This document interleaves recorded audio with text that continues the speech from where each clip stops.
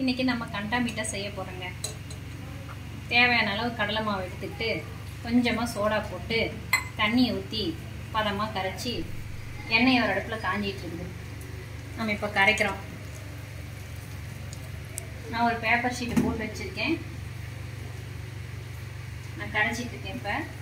நம்ம வீட்லேயே சுலபமாக நம்ம செஞ்சுக்கலாம் சிக்கனமாக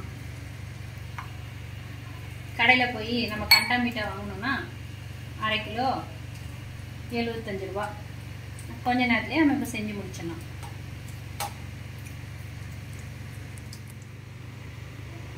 மாவு கரைச்சிட்டங்க. தேவையான அளவு தண்ணி ஊற்றி எண்ணெய் காஞ்சிச்சு அடுத்த இப்போ நம்ம வந்து பூந்தி எடு பூந்தி போடுறோம்.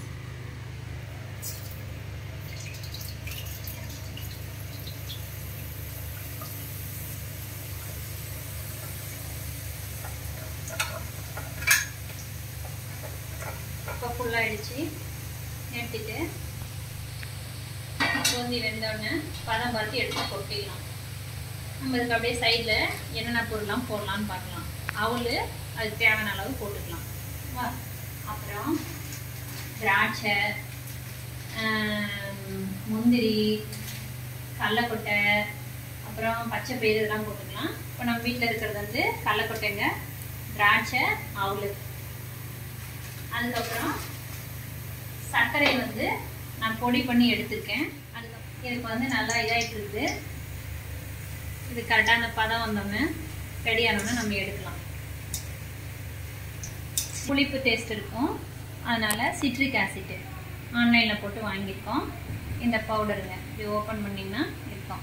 கொஞ்சோண்டு போட்டாவே நல்லா புளிப்பு டேஸ்ட் இருக்கும்.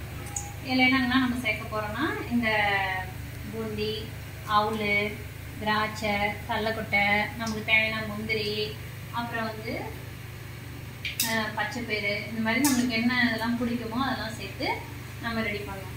நான் உங்களுக்கு வீடியோலாம் முடிச்சதுக்கப்புறம் இதெல்லாம் பொரிச்சு எடுத்ததுக்கப்புறம் ஒவ்வொன்றா பொறிச்சு எடுக்கும் போது உங்களுக்கு காமிக்கிறேன். முடிச்சதுக்கப்புறம் உங்களுக்கு நான் எப்படி இதெல்லாம் ஒவ்வொன்றா சேர்த்துணும்னு சொல்லி உங்களுக்கு காமிக்கிறேங்க. ரெடி போகுது. வந்துருச்சு கலர் கொஞ்சம் கொஞ்சமாக மாறிடுச்சு. பூந்தி கலரு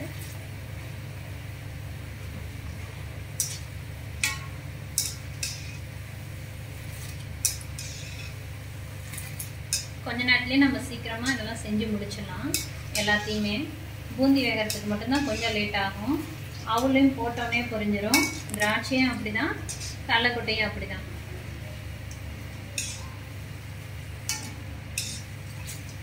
இப்படி நல்லா சத்தை வரும். இன்னும் சத்தை வரல.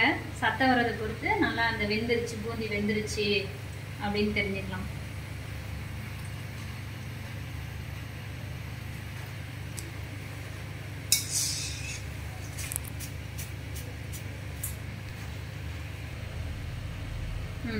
பொரி பொரிச்சு ரெடி ஆகிடுச்சு நான் ஒரு ஒயிட் ஷீட் போட்டு வச்சுருக்கேன். அதில் போட்டு இதே மாதிரி ரெண்டு மூணு டைம் நான் போட்டு எடுக்கிறேன். எடுத்து உங்களுக்கு காமிக்கிறேன். வீடியோக்காண்டி இப்போ நான் அவுல் போடுறேன் பாருங்கள் பூந்தியை பொறிச்சு வச்சாச்சுங்க. அவ்வளோதான் இப்போ நம்ம ஆவில் போட்டு பொறிச்சு எடுக்கலாம். கொஞ்சம் கொஞ்சமாக போட்டோம்னா ஏன்னா நல்லா காஞ்சதுக்கப்புறம் போட்டோன்னா ஒன்று விடாமல் நல்லா பொரிஞ்சு வந்துடும் நம்ம எடுத்து போட்டு வச்சுக்கலாம். இது நல்ல ஒரு ஸ்நாக்ஸுங்க. டெய்லி நான் காலைல ஸ்கூலுக்கு பிள்ளைங்களுக்கு இதான் போட்டு தருவேன். நல்லாயிருக்கும் அவங்க ஃப்ரெண்ட்ஸ் எல்லாம் சொன்னாங்க நல்லா இருக்குன்னு சொல்லிட்டு. அதுக்கப்புறம் தான் இந்த வீடியோ போட்டோம். நல்லா இருக்குன்னு சொல்லிட்டு. அவள் எண்ணெய் நல்லா காஞ்சதுக்கப்புறம் போட்டிங்கன்னா அவள் எல்லாம் ஒன்று விடாமல் பொரிஞ்சு வந்துடும் எல்லா அவளையும் போட்டு எடுத்ததுக்கப்புறம் கடலக்கொட்டை திராட்சைலாம் போட்டு எடுத்து காமிக்கிறோம் ஒவ்வொன்றா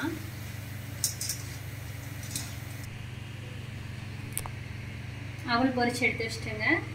இப்போ எண்ணெய் நல்லா காஞ்சிருச்சு. கடலக்கொட்டையை போட்டு பொறிச்சு எடுத்துருந்தாங்க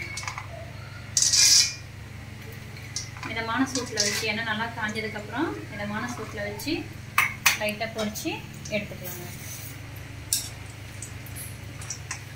லைட்டாக பொறிஞ்சு வருங்க.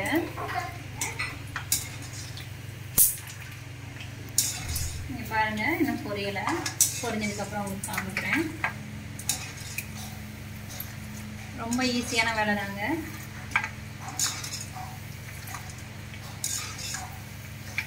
அப்படியே லைட்டாக கலர் மாறி இருக்கும். சிம்மில் வச்சு ஓரளவுக்கு இதில் வச்சு குறைச்சி வச்சுட்டு நீங்கள் பொறிச்சு எடுத்துக்கோங்க. இது ரொம்ப நல்லா இருக்கும். இனிப்புக்கு சர்க்கரை சேர்த்துருக்கோம் காரம் உப்பு புளிப்புக்கு அந்த இந்த சிட்ரிக் ஆசிட்டு எல்லாம் போட் எல்லாம் சேர்ந்தோன்னே ரொம்ப நல்லாயிருக்கும் இந்த ஸ்நாக்ஸு நீங்களே செஞ்சு கொடுங்க. ம்? அவ்வளோதாங்க. இது ரெடி ஆகிடுச்சு இதெல்லாம் பொறிச்சு எடுத்துட்டு உங்களுக்கு மறுபடியும் நான் திராட்சை போடுறப்ப காமிக்கிறேன். கடலக்கொட்டையை பொறிச்சு எடுத்துட்டேங்க எல்லாம் இப்போ எண்ணெய் காஞ்சிருச்சு. திராட்சை கொஞ்சம் கொஞ்சமாக போட்டு பொரிச்சு எடுத்துக்கலாம். சீமில் ஓரளவுக்கு இதில் குறைச்சி வச்சுட்டு எண்ணெய் தெளிக்காமல் இருக்கிறதுக்காண்டி திராட்சை பொறிச்சு நல்லா தெரியுங்க பார்த்தீங்கன்னா தெரியும். பொறிஞ்சு வரப்போகுது.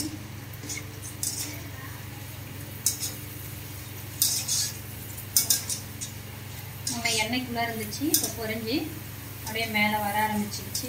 லைட்டாக கலர் மாறினோன்னு நம்ம எடுத்து வச்சுக்கலாம். இன்னொரு நட போடணுங்க. நான் போட்டுட்டு உங்களுக்கு மறுபடியும் காமிக்கிறேன். எண்ணெய் எப்படி கலர் மாறுதுன்னு உங்களுக்கு காமிக்கிறேன். திராட்சையை பொறிச்சு எடுத்து வச்சாச்சுங்க. அவ்வளோதான் காராபுந்தி அவுள் கடலக்கொட்டை உலர் திராட்சை. எல்லாத்தையும் பொறிச்சு எடுத்து வச்சாச்சு. இந்த நாலு பொருள் தான் இன்றைக்கி போடுறோம். உங்களுக்கு ஒரு பாத்திரத்தில் எடுத்து போட்டு என்னென்ன பொருள் எவ்வளோ போடணும் அப்படின்னு நான் சொல்கிறேன் உலர் திராட்சை போட்டிருக்குங்க. அடுத்து காராபூந்தி போடுறேங்க. அவல் சேர்த்துறேங்க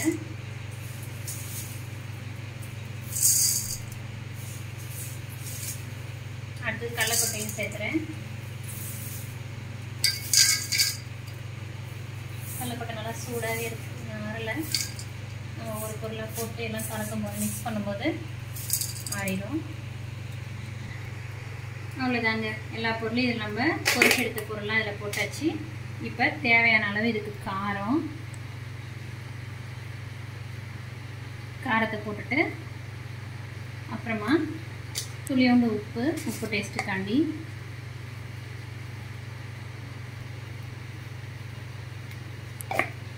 அதுக்கப்புறம் நம்ம அரைச்சி வச்சுருக்கோம் இல்லைங்களா சர்க்கரை?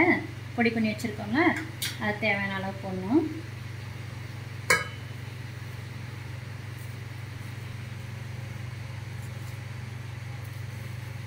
நான் கொஞ்சம் அதிகமாகவே அரைச்சி வச்சுருக்கேன். மீதி இருந்துச்சுன்னா நீங்கள் டீ போடுறதுக்கு காஃபி போடுறதுக்கு யூஸ் பண்ணிக்கோங்க வேஸ்ட் ஆகாது.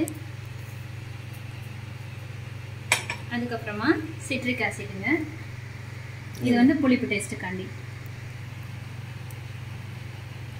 இது கொஞ்சமாக போட்டிங்கனாவே நல்லா புளிப்பு டேஸ்ட் இருக்கும்.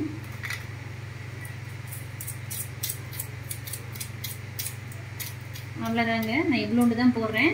இதுவே எனக்கு போதும். உங்களுக்கு கலக்கிட்டு காமிக்கிறேன். கலக்கிறேன் பாருங்கள்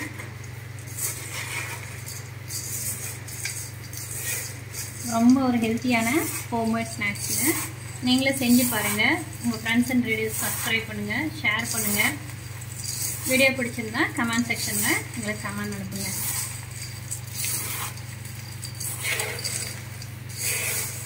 அவ்வளோதாங்க. நல்லா கலக்கிட்டு சப்போஸ் உங்களுக்கு உப்பு காரம் புளிப்பு எல்லாம் ஏதாவது பத்தலை அப்படின்னா நீங்கள் கலந்துக்கலாம். ரொம்ப நல்லாயிருக்கும் எல்லா சுவையும் சேர்ந்தனால